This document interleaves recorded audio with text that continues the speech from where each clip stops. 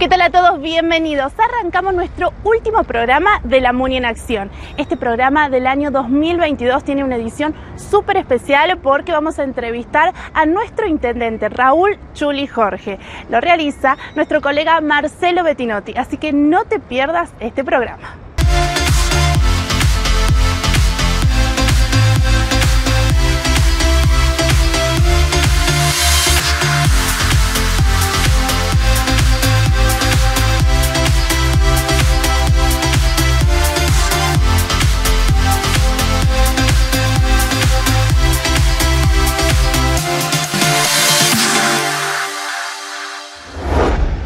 ¿Cómo se arranca este 2022 con esta normalidad? que por suerte pudimos comenzar ¿no? el año a transitarla, refiriéndonos a todo lo pendiente y todo lo que se había proyectado y que se tuvo que parar. ¿Cómo arrancó este año? Al llegar a la normalidad nos encontró con el plan vigorosamente estructurado y que de alguna manera permitió desarrollar casi en cinco meses de, normalidad este, bueno, muchas obras que estaban en construcción pero que estaban pendientes, algunas se demoraron en su articulación y terminación, como por ejemplo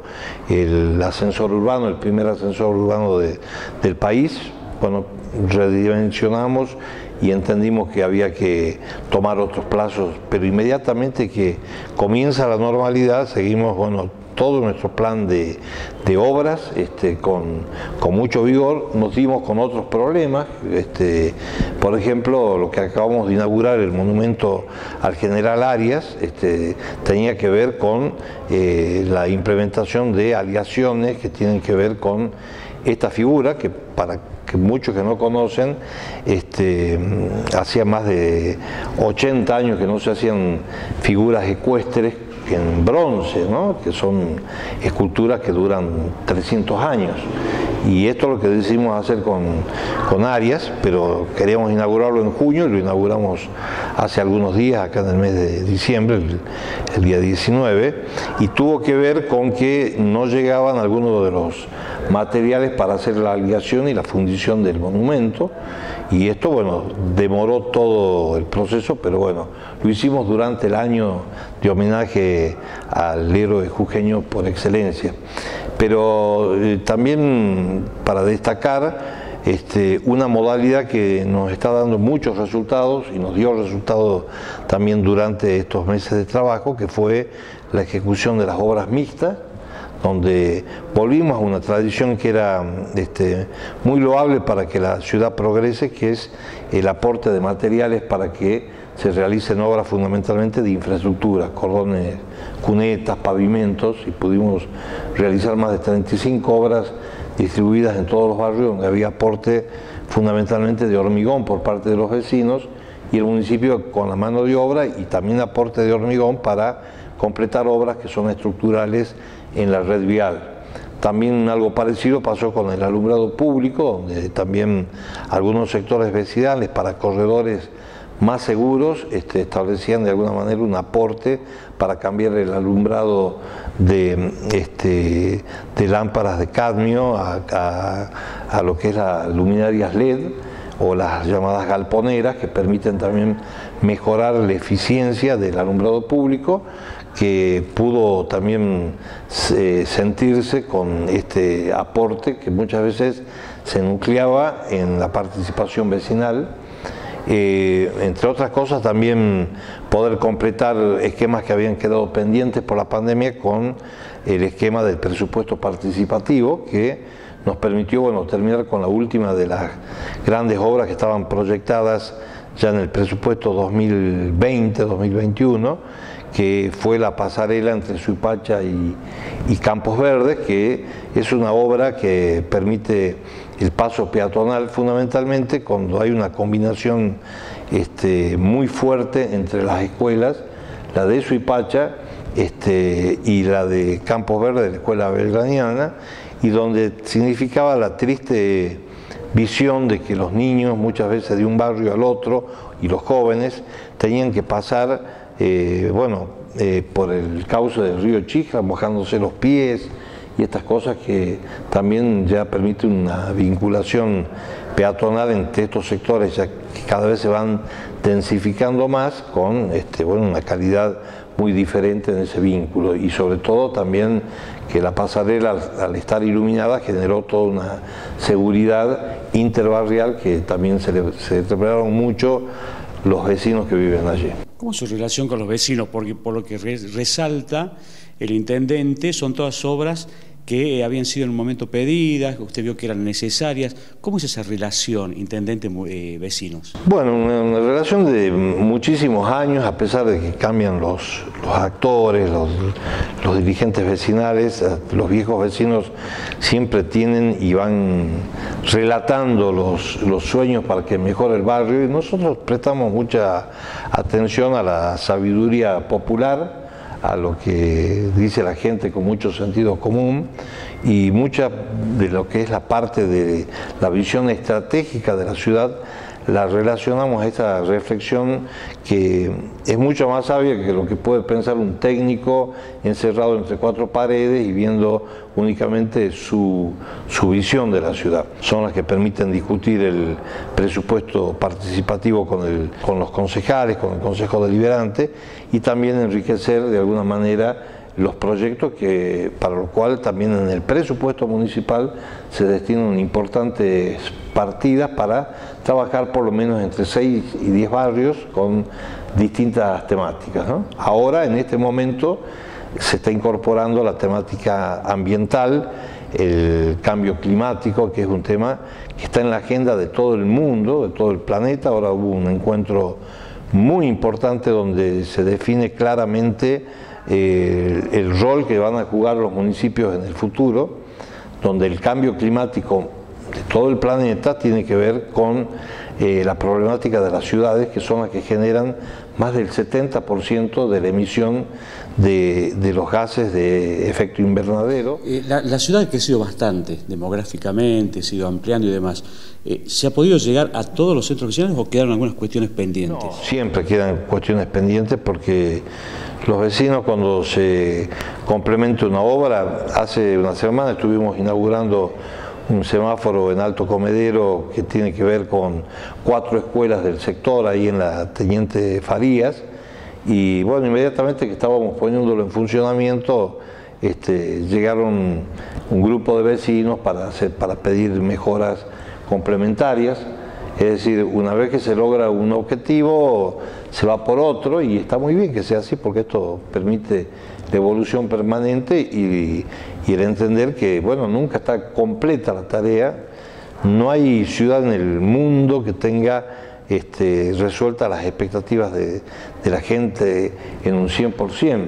Esta es una gestión que viene hace mucho tiempo trabajando con con parques urbanos. Estamos muy conformes con el resultado que nos dio el Parque Civicivi, que ya tiene cuatro años, y por eso que seguimos también con el Parque General Arias, con el Parque de la Memoria, tenemos un vínculo también con las nuevas modalidades de, transportar, aparte de, las bicicletas, que fue un boom en, todas las ciudades y grandes ciudades del mundo, este, bueno, por ejemplo, hoy se puede llegar por la ciclovía desde Alto Comedero hasta el Cibicibi, hasta el corazón de la ciudad, entre otras cuestiones, pero también eh, estamos, con una fuerte decisión de eh, eh, seguir con la experiencia esta que es única en el país de los ascensores urbanos. Estamos construyendo ya el segundo ascensor urbano y ya hay pedidos por cuatro ascensores más, que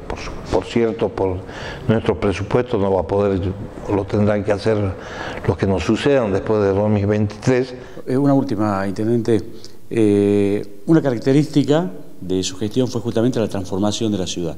Desde la óptica de Chuli Jorge, en todo este tiempo, ¿se logró?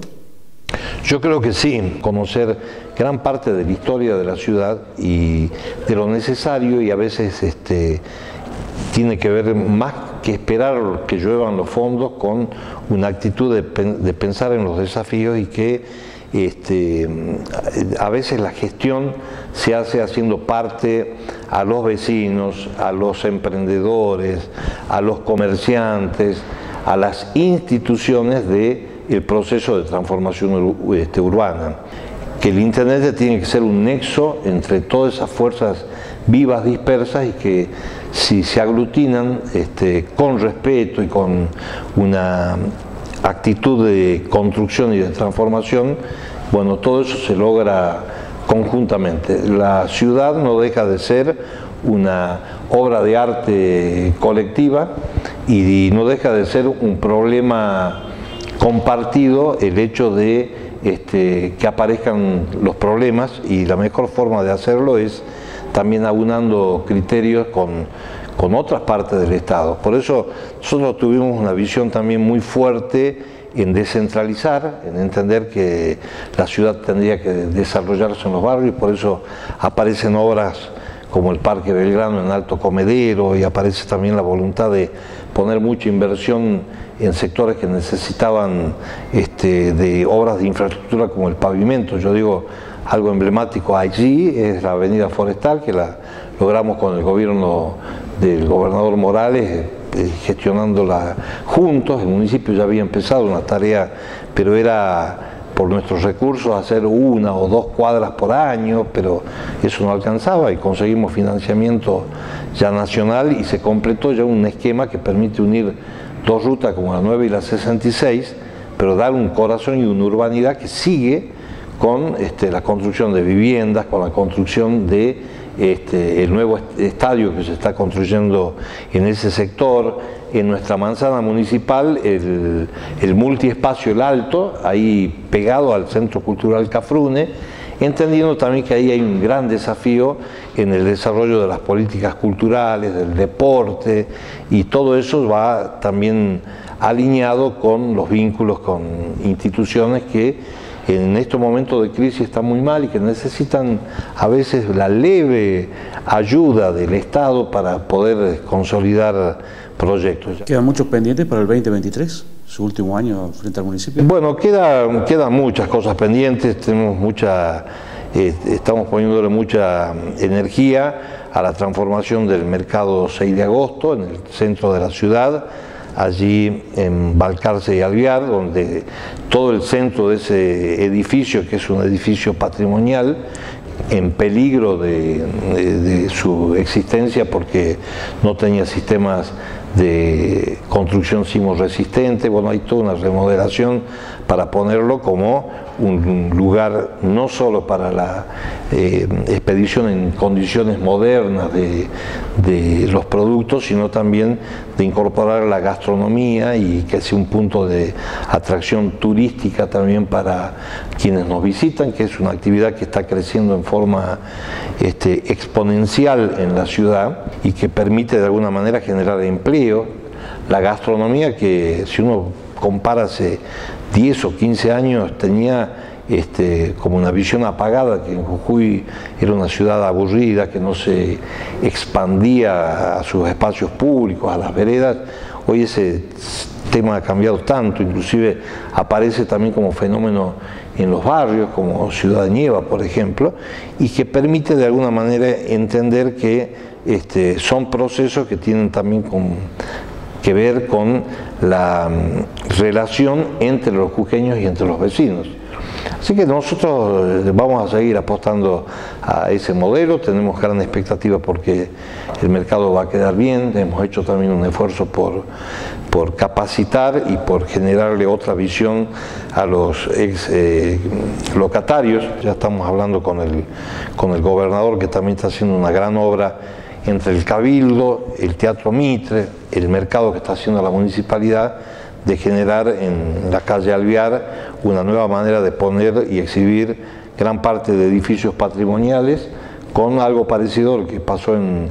la calle Belgrano, que se puso en valor con el adoquinado y otro tipo de, iluminación, este, todo este sector que va a generar un centro muy potente en cuanto a las alternativas que va a permitir para una ciudad como la nuestra, que es una ciudad que crece, que se desarrolla, que genera nuevas y potenciales actividades. Así que, bueno, todo esto hay que seguir trabajándolo. Vamos a tratar de terminar nuestra, nuestro mandato en, el, en diciembre de 2023 con, con lo máximo que podamos dejar para, este, para el futuro. Y llegamos al final de nuestro programa y queremos recordarte que podés volver a verlo a través de nuestras redes sociales. Y en este final queremos agradecer a todas las áreas del municipio que también formaron parte, a las distintas secretarías y también en especial al área creadora. Estamos hablando de la dirección de prensa y la dirección de comunicación digital. Sin ellos no hubiese sido posible toda esta realización para ustedes. Nosotros nos volveremos a reencontrar muy pronto y ya sabes que nos mantenemos conectados y que la MUNI sigue en acción.